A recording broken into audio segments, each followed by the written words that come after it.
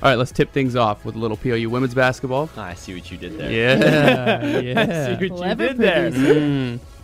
All right, PLU took on Whitworth on Friday night. Uh, the Lutes trailed 39-23 at halftime, but the team was able to make this game close in the second half. L- Lacey, how'd you do it?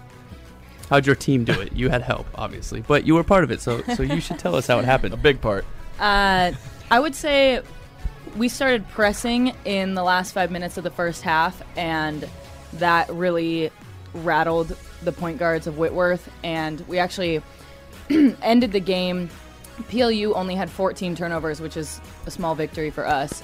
And Whitworth ended the game with 27 turnovers. So we for- we were able to force 27 turnovers um, and get some cheap buckets that way we actually ended up winning the second half 27 to 23 um, what really killed us was coming out flat in the first quarter we only scored six points to whitworth's 21 points in the first quarter and we just weren't able to come back from that You dug your guys in. You How guys often- yourselves a really deep hole. Yeah. Yeah. How often do you guys press? we actually don't press that often um, but you can expect a little bit of it Oh, this weekend and against letting out a little Linfield. secret. Whit- Whitworth, Whitworth kind of threw the ball over the yard. They weren't ready for it. You could tell they weren't ready for it, and they just tossed the ball over the yard. yeah Kind of like West Virginia last night. Oh, what a basketball game, ladies and gentlemen! But before we get on off on a tangent that Christian will kill me for, let's get back to PU Yep, women's yep, basketball. Yeah. Yep. PLU ended up losing to Whitworth 72 to 60 on Friday night. Uh, then on Saturday, the Lutes took on Whitman, and it wasn't as close as, as uh, the game against Whitworth was. Uh, You know. Oh, sorry. go for it. No, go, dude. No, it. uh I was there and it wasn't close. Like, final score was seventy-three to forty-three. Um, the Lutes did battle though, and I believe that was Breast Cancer Awareness Night, so they were all rocking their their pink things.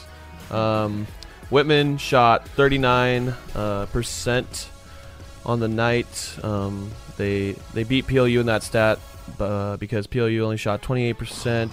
Whitman was also twenty-nine percent um, from three, and PLU was only fifteen yeah. percent from three. Um, just you know, X's and O's and everything else aside, if you shoot sub thirty percent from the field, you're not Yes. going to win too many games. yes, We, we trust me, men's basketball. We'll has get learned- to that. Has learned that the hard way in a couple second halves. yeah.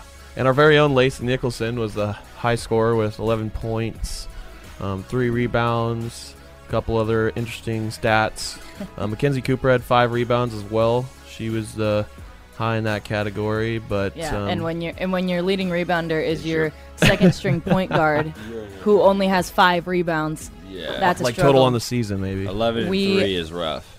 uh, we were definitely out rebounded. Um, out rebounded by 26 boards. That is a ton, and that ultimately gave Whitman 23 second chance points, um, which killed us. I mean, Whitman's a solid, huge team, um, but that's no excuse. Rebounding is hustle and effort. So The Lutes were 100% from the free throw line. Just want to add that. Six for Four- six. six for six. Hey.